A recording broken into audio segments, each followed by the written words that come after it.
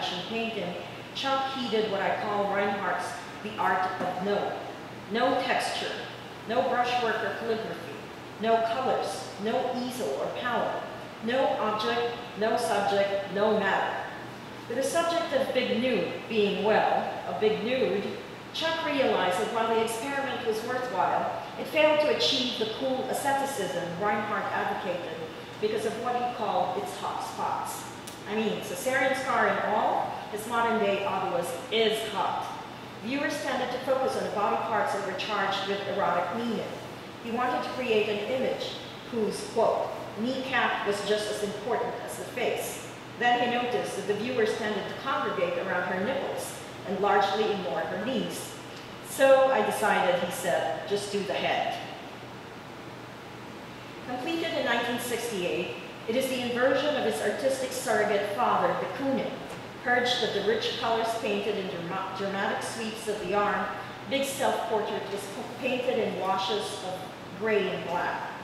From painting vigorously with paintbrushes as if one were Marlon Brando wailing Stella, all that could be heard was a regular puff of paint from an airbrush for four months. Big self-portrait has been described as follows. Head back, jaw thrusting. He stares out through heavy framed specs, a shirtless, travel-haired rebel, fag-clenched in tenacious mouth. It's a disquieting inventory of grain and pore, bristle and crease. Also referred to as the arrogant billboard-sized mugshot of a gangster, Chuck protested, claiming that anyone who has seen Humphrey Bogart, James Dean, or Jean-Paul Belmondo with a cigarette should know that what he was channeling was not the criminal, but the cool. Let's revisit his statement. I don't want the viewer to recognize Castro and think he understood his work. Castro's face, like Che Guevara's or Mao Zedong's, is not just recognizable, but iconic of a political stance. For Big Self-Portrait, the subject was a human head, but not necessarily whose head it was, much less its iconographic value. Perhaps the nearest ideological symbolism that could be read in it in the context of its time was as an expression of a counterculture of draft dodging and Woodstock. Understanding Chuck's work does not reside alone in recognizing eyes, lips, hair, or light reflected in eyeglasses, but in looking closely at how the image is made or built. Ultimately, the subject is painting itself. While it might seem as if doing nothing but heads shows little range, his body of work proves otherwise. How he has created this, these images shows incredible range and a propensity for innovation. Although many of his subjects have since then become titans of the art world, he initially put a premium on his subject's anonymity and neutrality of expression. That idealized portraiture was not his goal was key to how he had explicit instructions for how his sitters were to pose for the photographs. Head on, sometimes lips slightly apart, but not into a smile. The 1969 Joe is one of the rare exceptions. His artist friend Joe Zucker, upon being asked by Chuck to stop by his studio to get a photograph, arrived in disguise. Joe had slicked his hair back and put on a white shirt and tie. Chuck identified Joe as the only subject ever to completely alter his appearance for a Chuck Close portrait. This photograph shows what Joe really looked like then, not the, quote, quintessential car salesman that he intentionally posed as for the painting. This next photograph was given to me by the Japanese museum that now owns the painting. It features Yasumasa Morimura, the Cindy Sherman of Japan. Here, he's standing undisguised as himself next to Joe, which he picked as the most beautiful in the collection of the Osaka Museum. This is particularly This is a particularly interesting juxtaposition because it is not Morimura, but Joe Zucker in a painting who is disguised with a fictional persona.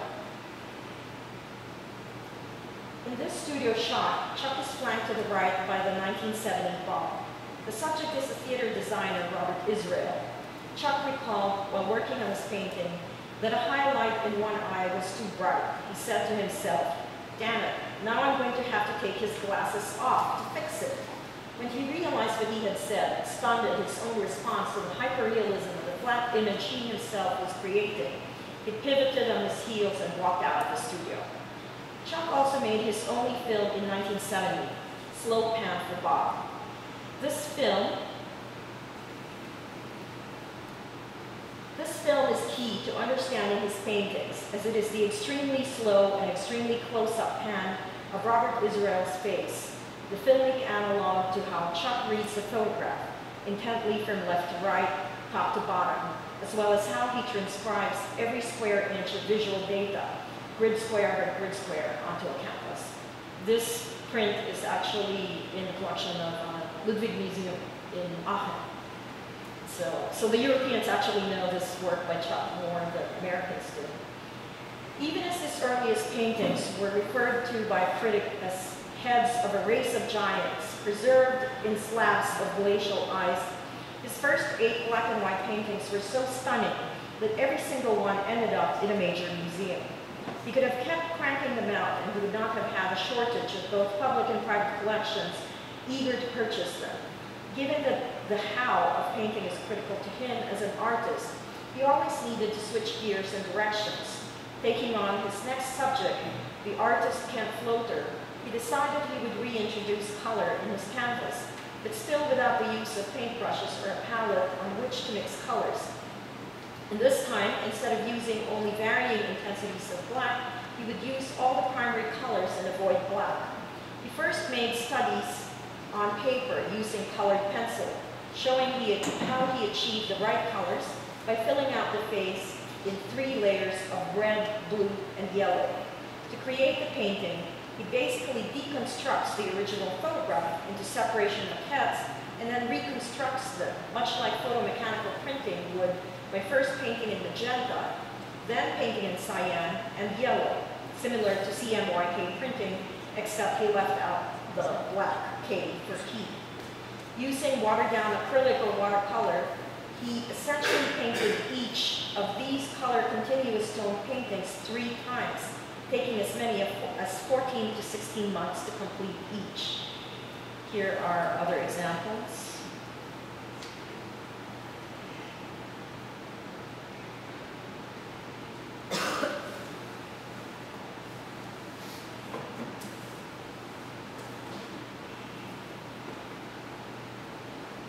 It was also during this time of painting large canvases in color that he made his first major print, Keith Mezzotint, a landmark piece in Chuck's body of work, not only for its unusually large size for Mezzotint, or for being one of the rare contemporary examples of a technique that has been out of favor for a century, but also for its visible grid lines that influence the artist's decision to foreground a grid in almost all of his subsequent drawings, prints, and paintings.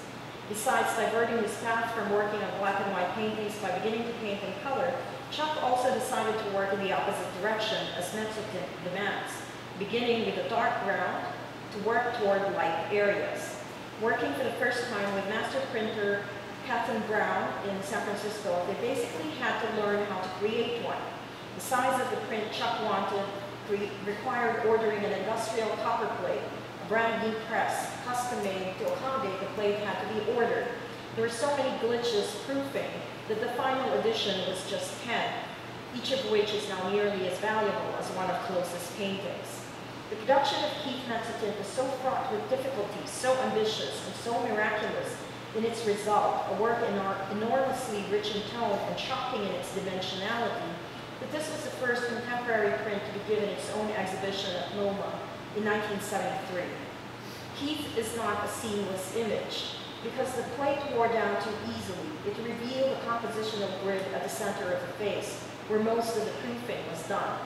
Ever the optimist, who finds virtue in mistakes or accidents, he turned this seeming weakness into a strength that enriched his artistic output. Not only did he begin to expose the grid in his paintings that had previously been hidden, it led to a lot of experimentation in how he could optimize the potential of each grid unit, which in turn led him to the conviction that in order to arrive at innovative shapes, he had to invent the means of creating those shapes. This development, so much a signature of Close's work today, might not have come about had he not explored resuscitating a practically dead technique that in testing the limits of the medium broke those limits. Within a year from creating Keith Mezzotint, he made Self-Portrait 58,424. The number in the title was derived from the number of barely perceptible grid squares that composed the drawing. Within the pencil lines of each square were minuscule dots in varying degrees of gray. He created a good number of works on paper, experimenting with a grid that he called dot drawings, including one with 104,072 grid units. Remember the artificiality he was referring to? He wanted to illustrate that eyes, hair, skin, and even eyeglasses for the pattern of a shirt could in fact be rendered with the exact same mark, with mere dots from puffs of the airbrush. He said, these paintings were just clusters of these marks that stacked up to build a situation that reads like something. The pictorial syntax and vocabulary is really dumb. There can't be a dumber art mark than this, a dot. It's a deliberate renunciation of the drama of abstract expressionism.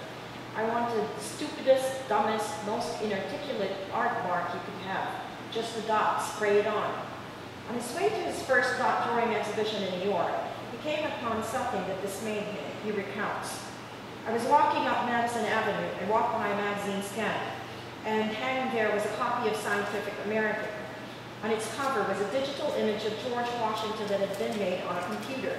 I was nearly knocked off my feet. I thought, oh my God, nobody's going to believe that I made those dot pieces without knowing that this technology existed, or in fact, that I didn't use some of it to make my pictures.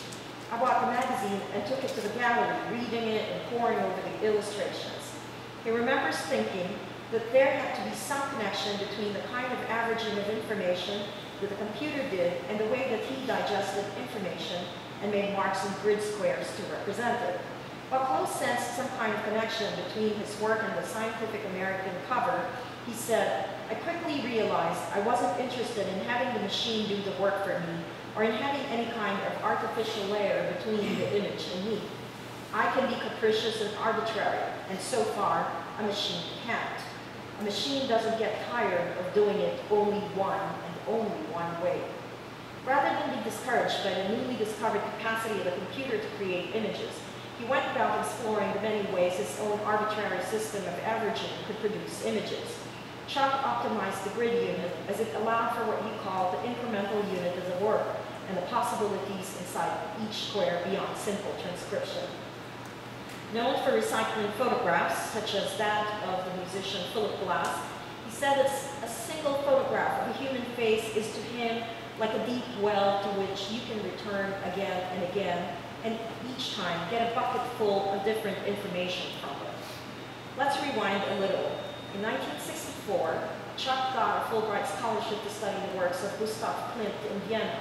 His fellow Fulbrighters at the time were peers from the Yale MFA program he just completed. Traveling through Europe, he would meet up with them in different places. Here he is with Nancy Graves, Richard Serra, and Stephen Posen at Donatello's tomb. Through Serra, Chuck met Philip Glass, considered one of the most influential American composers, who was at the time Serra's studio assistant.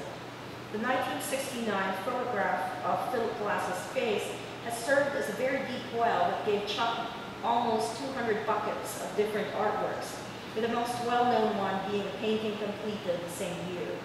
In 2004, Philip Glass returned the favor by creating a musical portrait of Chuck, to which a ballet was set.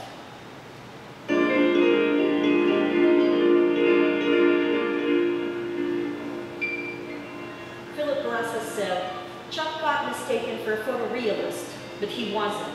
He was just investigating the process, my real connection to music was also based on process. The outside and the inside were the same. The activity of making art was the art. The structure wasn't an empty container that you fill up with content. The container was the content. We were trying to collapse the idea of form and content into one perception. And Chuck responded, while I was painting with one color of paint, Philip Glass was making music with six notes it was a very similar attitude about merging and reducing and getting rid of things.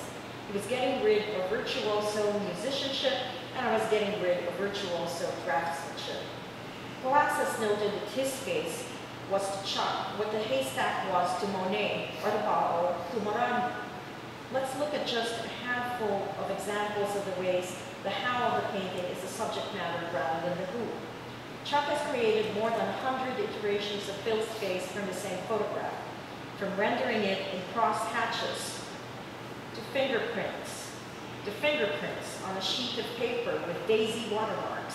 This one expresses his love his, for his friend, the late conceptual artist Sol LeWitt, who was one of the biggest collectors of Philip Glass's compositions and to whom Chuck gave this drawing. This one is paper pulp.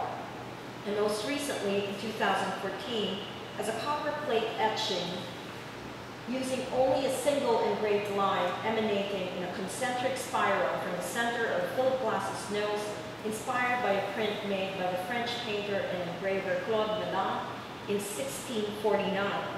The Sudarium, or Veil of Saint Veronica by Mellan, this is perfect, it's almost Holy Week, is based on the biblical story about Veronica taking pity on Jesus Christ on the road to Calvary, and upon wiping his sweating face with a cloth, the image of his features was miraculously transferred. The engraving achieves what was described in 1649 as a miracle of a different sort in a single line starting from the tip of Jesus' nose. Mellan has engraved the entire face, the folded veil, and the lettering below. The modulations of direction from thick to thin model the, image, the image in chiaroscuro. Chuck worked with Donald Farnsworth of Magnolia Editions to produce this print, using a combination